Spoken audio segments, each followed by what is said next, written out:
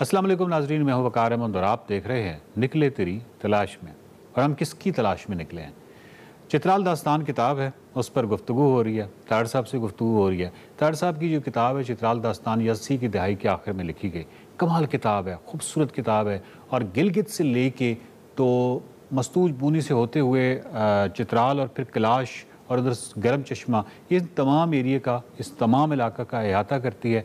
और आज से तकरीबन तीस, बत्तीस साल पहले का मंजरनामा पेश करती है, क्योंकि आज से बत्तीस साल पहले का मेलम होता है कि गज़र और चित्राल जो था वो क्या था, कितना खूबसूरत था। आज भी यकीन बहुत खूबसूरत है। तार साहब से गुफ्तु का सिलसिला जो है वो शुरू करते हैं।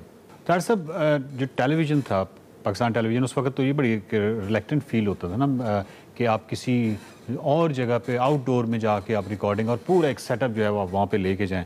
तो ये तो बड़ी बात है कि आपने कैलाश ड्रामा जो है ना सिर्फ़ अप्रूव करवा लिया, फिर इसकी रिकॉर्डिंग जो है वो क्लाश में हुई। तो ये सारे मरहले कैसे तय हुए? बेसिकली ये मैंने कैलाश लिखा था शुएब मंसूर के लिए। अच्छा। तो वो नई बात बनी। हम्म। Shoaib Mansoor being a very मेरा ख्याल मोस्ट कॉम्पिटेंट अगर क्रिएटिव बंदा हो सकता है तो उसकी इतनी ज़्यादा अचीवमेंट है। I don't have to go into details बिल्कुल। तो जितनी बड़ी कामयाबी होती है उतना बड़ा हसद होता है।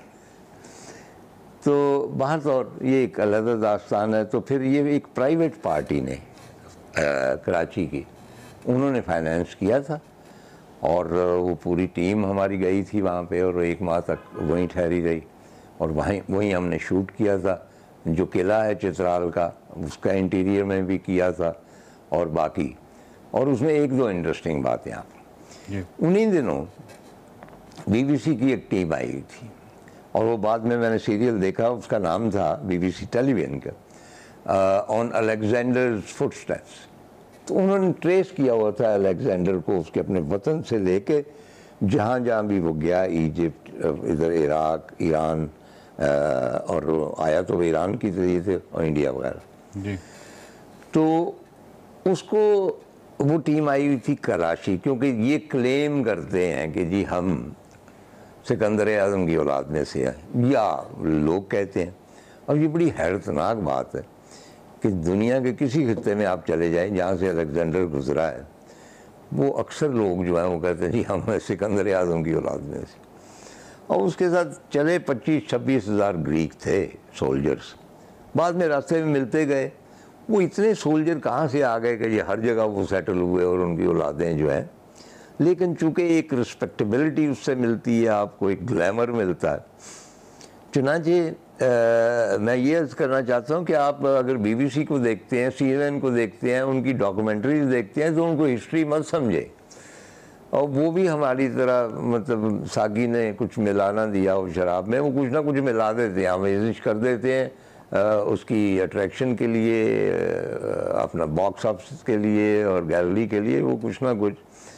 तो वहाँ पे इंटरेस्टिंग बात जो ये हुई कि वो आए। तो उनको कहा जी ये साहब इन्होंने प्ले लिखा है ये सीरियल तो मेरे साथ वो जो प्रोड्यूसर थे बात बात हुई कि क्या लिखा है ये वो। तो उस वक्त हमारी को तीन लड़कियाँ जो एक्ट्रेसेस थी वो कैलाश ड्रेस पहन के तो उसमें डांस कर रही थी बाकियों के साथ। ठीक। बाकी ओरिजिनल थी। मैंने कहा देखे ना अब इसमें हमारी तीन एक्ट्रेसेस हैं। और आप पहचान नहीं सकते कि वो कौन सी हैं। इतनी ज़्यादा वो मिल गई हैं, उनमें से गुल मिल गई हैं। तो वो कहने लगा अच्छा वो वो और वो वाली आई वॉज़ अमेज्ड मैंने कहा, आप किस तरह पहचान गए? कहने लगे, इनकी रंगत, इनके चेहरे सुते हुए नहीं हैं जिस तरह बाकी के लाए दे आर सो मतलब इतना डीप वो देखते हैं चीज़ों का. अच्छा अब उनकी जो थोड़ी सी जो कहते हैं कि बेईमानी कर ले तो वो आए हैं। जब उन्होंने शूट किया, सुबह वो बरीर गए। और उन्होंने आके एक सीक्वेंस लेना था और उन्होंने मेरे सामने एक संदूक खोला। उसमें से कुछ लॉकेट बरामद हुए और लॉकेट के आखिर में एक सिक्का जो था, को अलेक्जेंडर के ज़माने का, वो सोने का तो नहीं था था तांबे का, वो लगा हुआ था। और उन्होंने सात आठ खातन में वो लॉकेट बाँध दी कि आप ये पहन लें। उन्होंने वो लॉकेट पहन लिए और उसके बाद शूट करके चले गए। अब जब मैंने ओरिजिनल डॉक्यूमेंट्री देखी है आई एम श्योर कि ये कहीं ना कहीं मौजूद होगी आप देख सकते हैं। जी। तो उसमें जो कमेंटेटर है वो कमेंट करते हुए वो कैमरा जूम पे जाता है और कैलाश लड़की रक्स कर रही है और उसके यहाँ पे जाता है और उसके एक लॉकेट है और उसके ऊपर अलेक्जेंडर की तस्वीर है। और कमेंटेटर ये कह रहा है कि ख़वान हजरात ये देखिए कि ये कितनी प्राइड ले रहे हैं कि वो सिकंदर आज़म की औलाद में से यहाँ तक कि इन्होंने पुराने सिक्के संभाल रखे हैं उन ज़मानों के, और वो उसको, वो अपना बड़ा मानती हैं, और इसलिए वो लॉकेट पहने हुए हैं। जब वो सीक्वेंस ख़त्म हुआ था तो उन्होंने लॉकेट वो जमा किए, वो सारे ले गए, क्योंकि दैट वाज ऑल फेक चुनाचे आप जब वो देखते हैं, बाहर की डॉक्यूमेंट्री तो उसको भी मत समझिए कि ये वो जिस तरह कहते हैं ना कि वो जूलू ट्राइब जो थे वो बड़े अच्छे कंफर्टेबल घर में जूलू रह रहे हैं खाना वाना खा रहे हैं सूट वूट पहने तो एकदम कुछ शोर मचा देता है कि नेशनल जोग्राफिक वाले आए।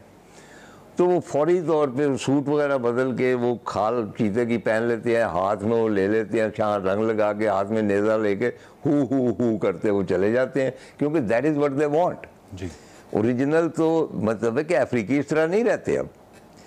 तो इसी तरह ही कैलाश जो है, उनका दो देर इज़ म्यूज़ियम जो ग्रीक गवर्नमेंट ने वहाँ कायम किया हुआ है।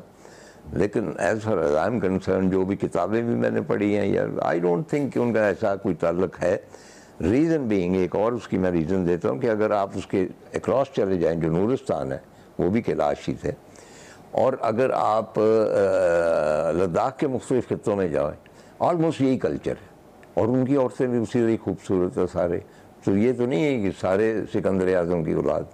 तो उन खत्ों में ये हुसन पाया जाता है उनकी नीली आँखें और इसी किस्म का लिबास वो पहनते तार साहब आपने इस किताब में लिखा है कि कुछ लोग थे जो कि इस ड्रामा के ख़िलाफ़ थे और उन्होंने वहाँ पे रिकॉर्डिंग की इजाज़त नहीं दे रहे थे एहतजाज कर रहे थे। जी, जी। तो आपको स्पेशली यहाँ से चित्राल जाना पड़ा। गो के एज अ राइटर आपको ज़रूरी नहीं था, आप जाते, लेकिन फिर आपको ये जाना पड़ा और फिर ये मसला आपने किताब में बयान किया है। इस किताब में शायद आप लिखना भूल गए हैं कि मसला फिर सार्ट आउट कैसे हुआ था आपके जाने से क्योंकि मसला हल हो जाता है और उसके बाद इस क्लास ड्रामा जो है इसकी रिकॉर्डिंग होती है। तो ये मसला कैसे हल हुआ था? एक्चुअली मैं तो नहीं जा रहा था। नेचुरली जो प्ले राइट है, वो तो नहीं जाता। वो तो रिस्पॉन्सिबल होता है। लेकिन मुझे कराची से नूर साहब थे हमारे स्पॉन्सर सेठ उनका टेलीफोन आया। ठीक है। उन्होंने कहा जी वो क्रू वहाँ पे बैठा हुआ है और बहुत खर्चा पड़ रहा है जितने भी लोग।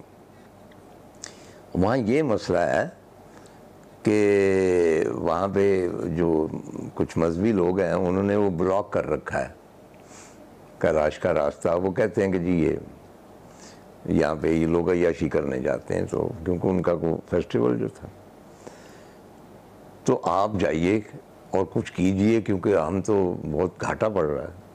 So, क्योंकि he was very nice with me तो आई वेंट देयर वहाँ फिर जो एसपी थे उस एरिए की वो किसी तरह मेरे जानने वाले निकल आए।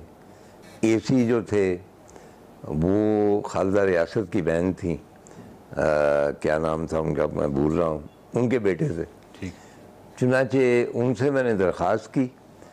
तो उन्होंने फिर उनको कहा मेरा हवाला दिया कि जी ये लोग जो हैं ये अयाशी अगर करना चाहें तो लाहौर कराची में इससे ज़्यादा होती है ये इस काम के लिए आए तो फिर वो उन्होंने हमें जाने दिया।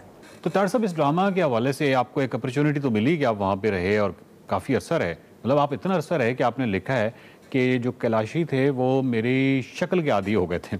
तो एक्चुअली कितना असर रहे थे आप कैलाश? में मुझे याद नहीं है। क्योंकि जब आप एक स्ट्रेंज बस्ती में जाते हैं, एक और एनवायरनमेंट में जाते हैं तो टाइम जो है, उसका कोई हद नहीं रहती, उसका कोई पैमाना नहीं रहता। और पैमाना इसी इस चीज़ का रहता है कि मतलब रात को दस बजे आपकी आवाज़ आती है ढोल बजने की, और एक कैलाशी है, वो कहता था सब आ जाए। और वो आपको बिल्कुल अंधेरों रास्तों पे लेके जाता है और ऊपर कोई गाँव है और वो अपने लिए रक्स कर रहे हैं मशलों की रोशनी में। और गीत गा रहे हैं and you are the only one watching it तो यहाँ पे टाइम थम जाता है इस किस्म के एक्सपीरियंस से। चुनाचे लगता था कि एक उम्र गुजारी वहाँ पे लेकिन कम से कम बीस पच्चीस रोज तो होंगे आपके हिसाब से। नाजीन ये था निकले तेरी तलाश में आज का और निकले तेरी तलाश में, में क्या है? हम किस चीज़ की तलाश कर रहे हैं? हम तलाश कर रहे हैं चित्राल को चित्राल के अदब को चित्राल की सकाफ़त को चित्राल की खूबसूरतियों को उसकी लैंडस्केप की खूबसूरती को और इसमें ऑफकोर्स गज़र वैली भी शामिल है क्योंकि इस सफ़रनामे में गज़र से ही ये सफ़र जो है इसका आगाज़ किया गया था। तो ये जो सिलसिला है ये जारी है और अगले हफ़्ते निकले तेरी तलाश में में तार साहब से मज़ीद गुफ्तु करेंगे चित्राल दास्तान पर। देखते रहिए निकले तेरी तलाश में।